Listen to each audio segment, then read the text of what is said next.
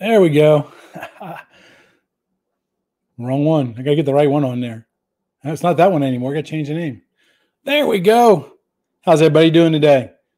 We're on just a little bit early. Doesn't really officially start until uh, another eight minutes, but I've got uh, several people on YouTube, several people on uh, LinkedIn. Let me flip back over to the comment section. There we go. George is on here. George, you're supposed to be working. Yep. So, me, um,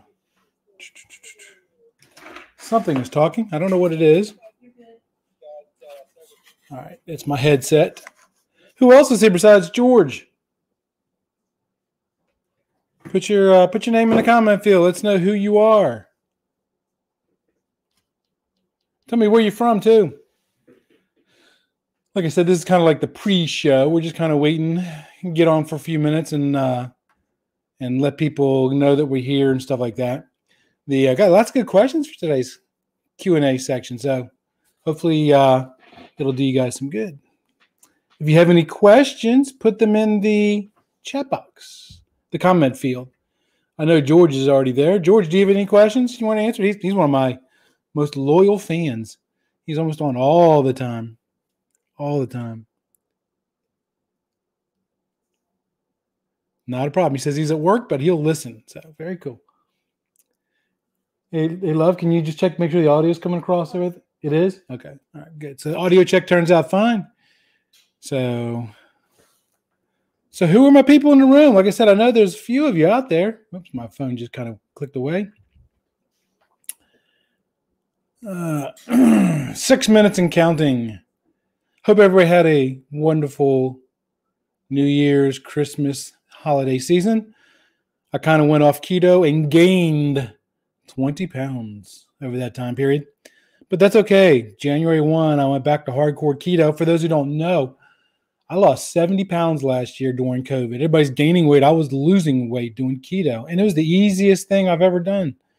You know, because you get to eat the good stuff like bacon and meat and and did I mention bacon? Yeah, you get to eat all the good stuff. And I lost 70 pounds. You want proof of it? Go look at the uh, my other YouTube channel, the Bowser Journal, and go back about eight, nine months. Look at those videos. You will see a chubby Chuck. chubby Chuck. That's funny. Yeah. Yeah, I lost 70 pounds. Real happy. I'm actually had to buy two different sets of wardrobes. Again, for those who just joined, we were five minutes until we started the broadcast. So, geez. yep. So it just says LinkedIn user. So I don't know who that is. So in in a thing, just tell us who you are and where you're from. I know George is from Florida. I'm from Florida. Um, where's everybody else from? Funny thing, you probably wondering why Chuck's wearing two shirts today. This morning, it was 41 degrees outside my house. 41 degrees. I'm beginning to wonder if I live in the frozen tundra or Florida. Just saying. Yeah, yeah. It gets cold. My animals sure don't like it. Uh, you know, this has actually become one of my favorite things to do because uh, I get to interact with you guys live and get to have kinds of questions. Ah, well, I know you now. Welcome to the channel, Mr. Unidentified LinkedIn user. Had a good day work today. I briefed a new RSM coming on board. I worked on some updating some PowerPoint stuff. It's a good productive day. Good productive day. So, again, if you have a question, this is a Q&A session. If you have any questions about communications, career, Q&A, estimating, project management, make sure you put it in the chat box, right? As I always say, the people who submit the questions in advance get preference. But if I run out, I will definitely answer your questions as well. I don't like leaving unanswered questions. If you don't know, I have a podcast. It's called Let's Talk Cabling. We are about 18 episodes in, 18, 19 episodes in. We just finished a project management series. I come back up north and see how cold it is. No, thank you. You probably noticed the Maryland flag in the back. I am from Maryland originally. Uh, there's a reason I moved from Maryland, and that's because I don't like snow. There you go. You have it in a nutshell. I don't like shoveling snow. I am coming back to the area though on uh, in a couple weeks. I'm flying up on a Friday, and I'm picking up our new puppy. Yes, our we are getting a brand new German Shepherd. To we we had three, actually two and a in a in a, in a mixed breed. Two of them died this year in 2020, so we're getting a new puppy. Looking forward to that as well. So got another two minutes or so. Yep. I remember a funny story before we get started. I uh, went on a business trip one time. I lived in College Park, Maryland. Went on a business trip, flew to Mexico City to do a project. Was there for about two and a half to three weeks. While I was gone, the DC area got nailed with about 12 to 14 inches of snow. And I was laughing at everybody because I'm in Mexico City. I'm like, ha ha ha, you got to shovel snow. Ah, I don't. I'm in Mexico. And uh, so the funny thing is, when I got back to the airport, first thing I had to do was um, I actually had to shovel my truck out of the snow in the airport parking lot. And, and I didn't have a shovel. And my truck was two wheel drive, not four wheel drive. So I had to shovel it out. It took me about an hour and a half after traveling all day long. And then uh, drove home. I, I, lived on this real little narrow street in College Park, Maryland. Actually, a subdivision called um, Hollywood, Maryland, Hollywood College Park. Real small little subdivision. I normally parked my truck on the street, and then at the time, my ex-wife used to park the van up in the driveway. So I pulled up to my house, and evidently, the city of College Park saw that open spot in front of my house, and that's where they decided to shovel all the snow. So I had a pile of snow that was taller than my C20 truck. I had to shovel another pile of snow. So I guess that was my uh, my uh, issue. I mean, not my issue, my punishment for going to warm weather. So that is why I don't like snow. Don't like shoveling it. Snow's pretty to look at. It's pretty for about the first 12 hours. Yeah, exactly. Snow emergency route. Exactly right. But uh, yeah, don't like snow. So I moved to Florida where we have hurricanes. Okay, big deal. Been here for about 20 years. Lived through a couple of hurricanes. Nothing big. About one minute to showtime. Love being in Florida. Have a three acre homestead here. We have goats and geese and rabbits and chickens and ducks and we have a steer named Duke. You want to see all that stuff? That's on the Bowser Journal on our YouTube channel. So that's pretty cool too. We just added a male goat, a blue-eyed male goat. Boy, is he gorgeous. So about 15 seconds to showtime.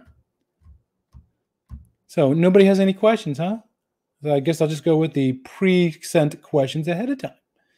So 10 seconds and counting. Do, do, do, do. Hope everybody has their drink. And in five, four, three, two, one. Eh. Welcome to the After Hours live Q&A session with Chuck Bowser, RCDD. Welcome to the first one. Oh, I turn that light down a little bit. Welcome to the first one. There we go. It's better. First one of 2021. So this is a uh, um, um, first one for the season. Oh, actually, I got first question already. So a LinkedIn user wants to know how long have I been cabling? I have been cabling since 1982. 1982. If you do the math, four, five, carry the one. That's uh, a lot of years. I have almost 40 years of experience in the communications industry. So that's uh, I've been doing it for a while. I started off like everybody else does. How long have you been veiling? Oh, cabling. Yeah, there you go. Um, cabling. There we go. There, there we go. Um, so I've been doing it for a long time. When I first started doing cabling, everything was actually coax or some type of proprietary system, and uh, it was kind of cool. So I got to see the whole industry grow. Oh, hey Dave, how you doing, buddy? Yes, uh, David Quick is here. Nice, David Quick, cool guy. He, uh, him, and I used to work together at a small little company called TCI in Springfield, Virginia remember him very well. And I remember him because he had the nicest little Mustang. And he was always putting in some kind of new car stereo. And the, the, funny thing I really remember about him is he used to have um, um, his tag was Dr. Quick, Dr. Quick. And I used to make fun. What, you think you're a doctor or something? Because no, those are my initials. So welcome, Dave. Glad to have you. Um, somebody says AppleNet. I do remember installing AppleNet. Oh my gosh, I do remember that that stuff. Yeah, when I first got in, everything was some type of proprietary system. There was NBI, There was ThickNet, ThinNet, Wang with dual RG59 coax.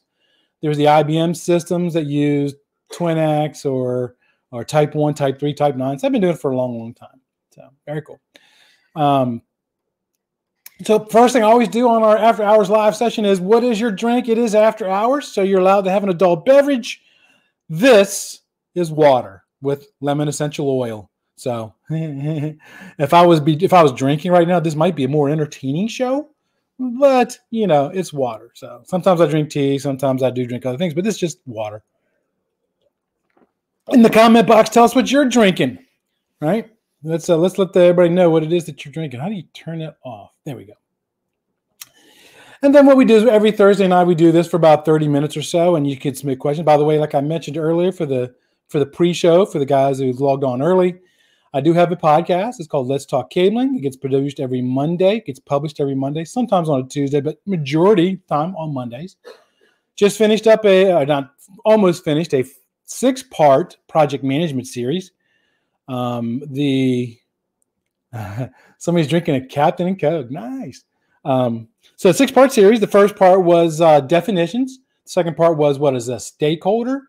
The third episode was uh, project initiation. Then the next one was executing and controlling. The one I just did last Monday, project closure. And it's kind of funny because that's the most critical one of all because that's where you get your final 10% and uh, and um, get your final 10% payment. So and and we get held up because we usually do things wrong. So George said he's drinking water. Good job, George, because you're at work. You're not supposed to be drinking. Um, and uh, and then the next one, the one on next Monday, is the excuse me, the final one. And I'm interviewing two people for that show because I'm going to compare and contrast the project management professional certification and the BICSI's RTPM certification, registered telecommunications project management professional. So I got one guy I'm going to interview has got the RTPM, another guy's got the PMP. Uh, they're going to be asked the same exact questions, and then that'll be the last one of the episode. Hey, here's, here's since you guys are the new 2021 one uh, season. If there's a subject that you want me to talk about on the podcast, put it in the uh, in the comment section. I get comments all the time and uh, suggestions all the time. Uh, George, like I said, my most most uh, admirable fan he suggested one, and I did a show for him. Uh, I can't remember what it was about, but you know, I did one. so if you like a subject matter to be discussed, put it in there. I've got. Uh, I'll give you some ideas of some of the future content I got coming up. Let me, let me look at my notes here real quick. So, future shows. I'm going to do one on. Have you noticed on our website, the Let's Talk Cabling website? I put three words right underneath the banner, and it says educate, encourage, and enrich. That's our three goals. Then I'm going to do an episode on teaching versus training teaching versus training. There's a big difference between those two. I'll explain that. And then I'm going to do an episode on, and this is not necessarily the order I'm going to do them in, by the way. I'm going to do an episode on earned value analysis, which is how you can actually predict how much revenue your project makes so you can make sure that you do it correctly. And then uh, I'm also going to do a uh, one on tips to successfully conduct a meeting. So I got lots of ideas, and I'm always thinking of ideas. And always when I do, I kind of write them down in the in my, my notebook and stuff. So lots of stuff going on on the channel. So uh, like I said, this live this after hours will be recorded, put on the YouTube channel, and also linked back to our Let's Talk Cabling.com um, webpage. So let's get to the questions since uh, um, I didn't get any in the group. So if you happen to think of a question while I'm going through, make sure you put them in the group and I'll come back, circle back around. Let me put on my safety glasses case any of the words pop off the page and try to injure my eye. These are not reading glasses, they are safety glasses. So the first question comes from Atif Aman. I hope I said that name correctly. His comment, I mean, his question comes from a YouTube comment, and he goes, Why are balanced cables called balanced? And then he followed up with, What is the differences between a Mutoa and a consolidation point? So he asked a lot of good questions. But what, probably one of my favorite questions is when, when you, when you get me talking about cable. I'm one of them cabling geeks that I love talking about cabling. So before I can tell you what the difference, what, what is a balanced cable, we have to talk about some other terms. By the way, I just did an episode on this. Well, I didn't just do it. I did it back in October uh, on the podcast. It's called uh, uh, on October 20th, if I remember correct. I think it's called category rated cables. What's the difference? And I go in way more depth than I'm going to go in here today because I only have 30 minutes with you guys today. So the first term I want to talk about is EMI, electromagnetic interference. EMI, uh, there's three components to it: an interfering source, a susceptible unit, and a coupling between that two. And when you put energy down a, a conductor, whether it's a communications cable or an electrical cable, it produces an electrical field that surrounds that cable. And if there's another cable that runs in close proximity, it's inside that, that field, that electromagnetic field, it will interfere with it. Um, it doesn't necessarily have to be down a cable, though. I'll give you an example of EMI. As I mentioned to the pre group, I live on a three acre homestead in central Florida. We have goats and cows and, and all kinds of animals. My next door neighbor, he lives down in Tampa. He comes up once a month or so. He's a ham operator. On his property, he has not one, but two huge ham antennas. And uh, when he fires them up, um, that creates an electromagnetic field around those antennas, and sometimes it can interfere with our Wi-Fi and some other things like that. That's EMI. So how do we get? By the way, there's also EMC, electromagnetic compatibility.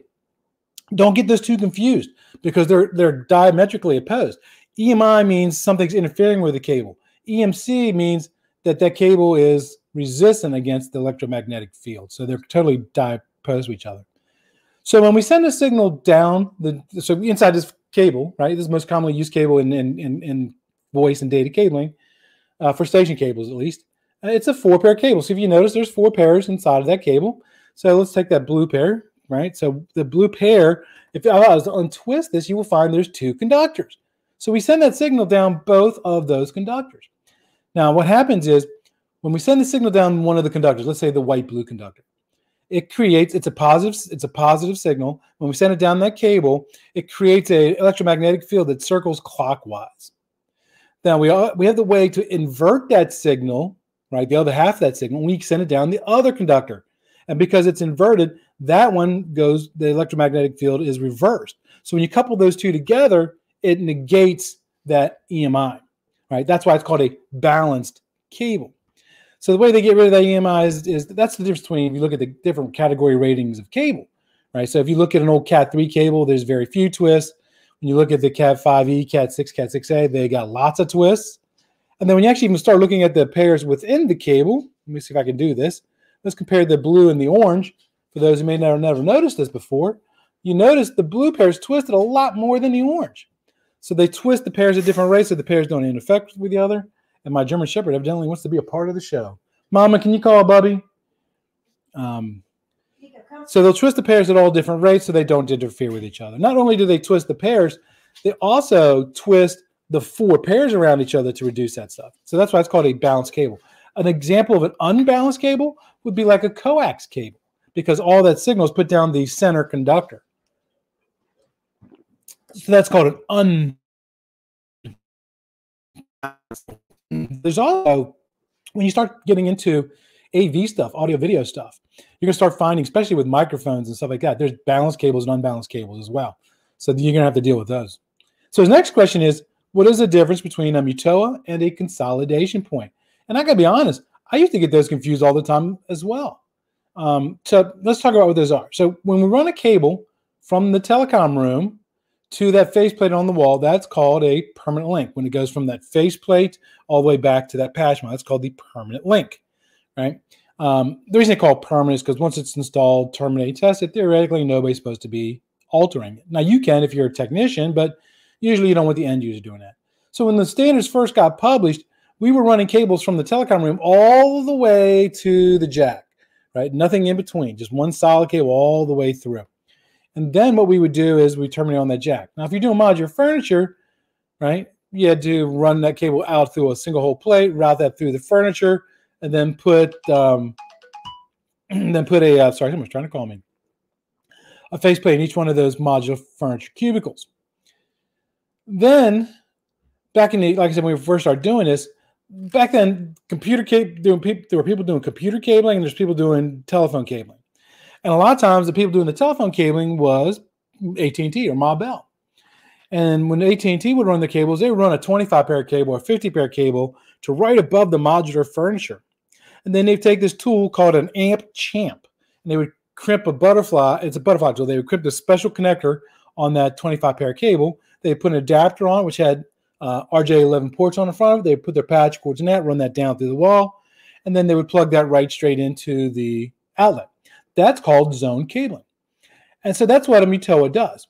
So Mutoa gives us the ability to do that. So Mutoa, what you're going to have is a cable that runs from the telecom room, all, it's and that's going to run to a, a, a Mutoa, and it's usually a box, a metal box, and it's usually either in the ceiling or sometimes below the floor. And then a cable gets terminated, usually on a patch panel, but it might also get terminated on like a termination block. And then you're going to run another cable from the other patch panel or the other termination block outside of that consolidation point, run it to a faceplate or into the modular furniture. And then back in that Mutoa, you're going to connect those two patch panels together with your third allowable patch cord. The Mutoa is not designed to be an end user interface. It is for the cable technician only. The Mutoa has to be at least 50 feet away from the telecom room and uh, it's got to be secured and stuff like that. So now consolidation point I'm sorry, I'm sorry, we'll, back up, get my things mixed up here. That was a consolidation point. The Mutoa is the faceplate on the wall. Got my things mixed up. The faceplate on the wall right by the modular furniture. Right Now, so what you have there is the faceplate gets mounted on permanent building structure, usually right next to the furniture. And then the customer can then literally plug in the patch cords from that Mutoa, which is nothing but a faceplate, and then run the patch cords through the wall. So the Mutoa is an end user face, an end user interface with the cable plant. The consolidation point is not. That consolidation point is the box that's in the ceiling. So that's what happens when you do a live broadcast. You get to see all the mess ups. At least with the with the podcast and the YouTube channel, I get to edit those stuff out. But just goes to show you, Chuck is a human being like everybody else, right? So then, so the biggest difference between a Mutoa and a consolidation point is number one, where it's located right? So the Mutoa is that faceplate that's on the end of the cable plant. The, the uh, consolidation point is in the middle. You can't have a consolidation point and a Mutoa on the same thing. What you can't have is you can't have a transition point and a Mutoa at the same time. Now, for those of you not know what a transition point is, that's that's typically referring to undercarpet cabling, and that's really another splice. And the same thing, that's what a consolidation point really is. I don't care what fancy name you give it, it's really nothing but a splice. A splice. And when you run a cable through a splice, as probably some of you people already know, it attenuates the signal and causes problems with the, uh, uh, the potential failure point. So that's why you don't want end users typically inside that consolidation point. So you can't have two splices. That's what a transition point is. That's why you can't have that. So the next question was submitted by Aaron Williams, RCDD, PMP. And this one was submitted to me via LinkedIn direct message, right? So his question was The TIA wiring standards are very expensive. In your opinion, is this information in the BICSI TDMM enough, or is the TI papers a must have? That's a loaded question. Okay, so let's talk about that for a second for those who don't know what the TDMM is, that's the that's BICSI's document called the Telecommunications Distributions Methods Manual. It's a two, it's a three ring binder into two. It's separated into two books. And last time I checked, I want to say it was about 1,800 pages between the two. A lot of information inside that TDM. Now, so whether or not you need to buy the standards, it's going to be really depends on two things. What is your role, right? And by the way, the standard, and there's lots of standards out there. You have the 568 standards, the 569 standards, the 606, 607, and, and all those fun standards. Um, each one of those standards, if you were to go on, you can purchase them from Global IHS.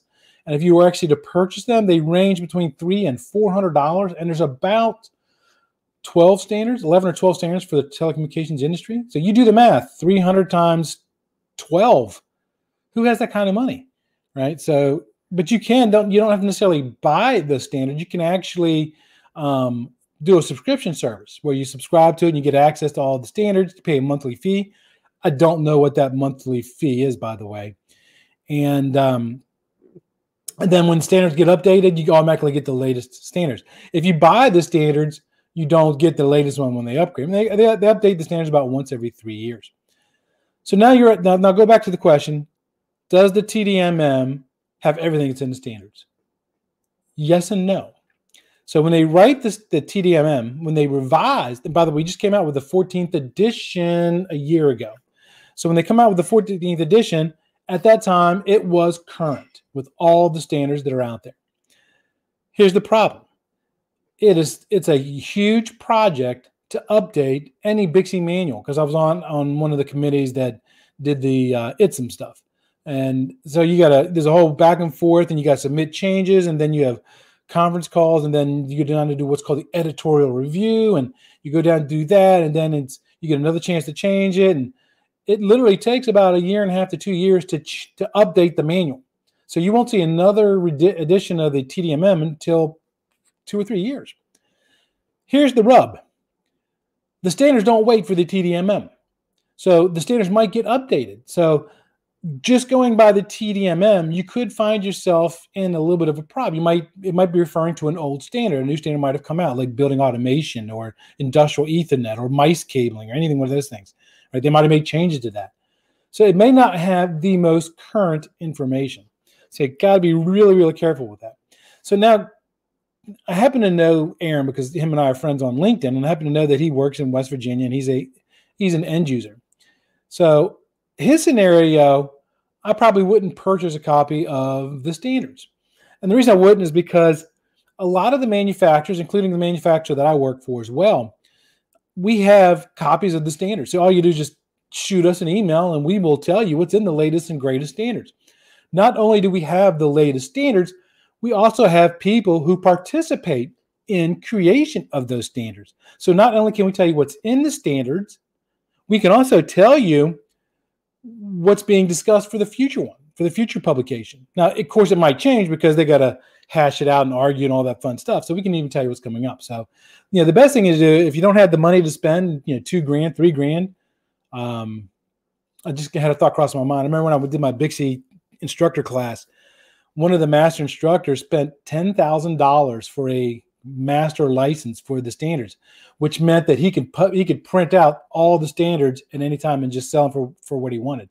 So there's that option too. If you have 10 grand, you want to make some money on the side, I guess. Um, but that's that's not with really with my frame. If you're an installer out in the field, do you need a copy of the standards? No, no, you don't. If you're somebody like my my old co-worker on here, David, um, might want to have a copy of them, right? Uh, but you don't necessarily have to. You, you, can rely on the manufacturers for a lot of that stuff. So the because the manufacturers they also generally will put out what's called white papers. It's just a technical document that discusses um, all the stuff that's in the um, the standards. That's all. And as you know, the manufacturer participates in those standard committees. You know that's going to be the latest and greatest. And if you find out who that person is within the company, so for example, if you want to know who ours is, within the company that I work for, just shoot me a message after this meeting and I will put you in direct contact with that person. And he participates in, in, in meetings. Uh, in the field, you don't need the standards. The TDMM is probably going to be enough. If you're an estimator or a project manager and you're responding to quotes from a customer, that I would say yes, you do need a copy of the standards in that case. And the reason I say that is because here's what happens quite often. So in our world, there's this thing called consultants. So a customer will hire a consultant because the customer doesn't know anything about cabling. They'll hire a consultant, and that consultant will write what's called the RFP, the request for proposal. Now, now these, these consultants, they um, I don't want to say that they're lazy, but their time is valuable, and they see a lot of the same stuff over and over and over again, kind of like I do as a as, a, as an instructor now. So what they'll generally do is they'll take a, an RFP from a previous customer and they'll copy and they'll paste it in the RFP for this new customer. And what happens is they forget to update, you know, the references to the standards and the codes and all that stuff. So you see all kinds of mistakes in there. And uh, if you're a consultant, then absolutely, you definitely should be having a, uh, a copy of the standards because you're going to be asked to, you know, you know, by the customer, and you might you might get challenged by a contractor. So yeah, as a, as a consultant, you definitely want to make sure that you have a copy of those standards. So, so the next question comes from Ernest Ling. Uh, Ernest Ling sent me a email. Oh, no, sorry, direct message on LinkedIn. If you're in the chat and we're not friends on LinkedIn yet, look me up, send me a friend request. I do a lot of stuff on there. I do articles and all kinds of stuff. By the way, Ernest Ling was also the winner of the recent contest that we just did. I did a contest in December to win a, a bundled set, BICSI bundled field pocket guide set. So he won his own set. And I just talking to him yesterday or the day before, and uh, he was telling me he just got them. So I might do a contest like that again maybe next year, or I might do something else different. That's a really good bundle set, by the way. I do recommend that you get them. Um, so one of them is actually is is for general cabling. Uh, one is for fiber cable construction, and then the other is for copper cable construction. And they're called pocket guides because they're supposed to literally fit inside your pocket. Although I tried and they don't fit in my pockets. so the field pocket guide said it's actually information that you can find in what's called the ITSIMM books. ITSIMM is uh, inform- it stands for Information Transport Systems Installations Methods Manual. I had to think about that for a second. I actually participated in revision three and helped write that book. Um, so all the information in ITSIMM manual is in well, I can't say all of it because I don't know that for sure, but um, so they put it in a pocket form. Say that way, if you're doing fiber, you can easily flip through the fiber book. If you want to know about, you know, you know, fire stopping or ladder safety, it's in the general book. Great, great, great resources. So Ernest won that bundled set, and he shot me a message, and his question was, "Are the field pocket guides good for study guides for the basic BICSI exams?" So when he says basic BICSI exams, I'm assuming he means the old BICSI Apprentice or an Installer One certification. Now, he didn't spec- specify that, but I'm assuming that's what he means. So my question, I mean, my answer to him is while I do think that these are a great resource and they have a lot of information that's right from the ITSIMM manual, and if you study them, it will certainly help you to pass that exam. I don't think it's all inclusive. I think you might come across information on the test that may not be in those pocket guide sets.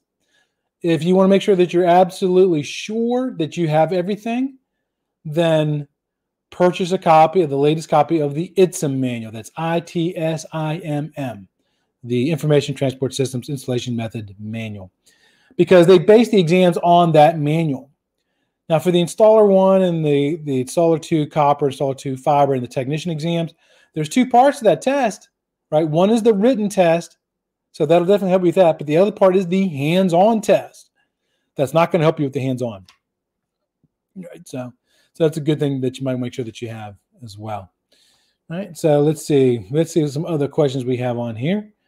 So, um, Freaking is talking about what they're drinking from, and people will tell them where they're coming from.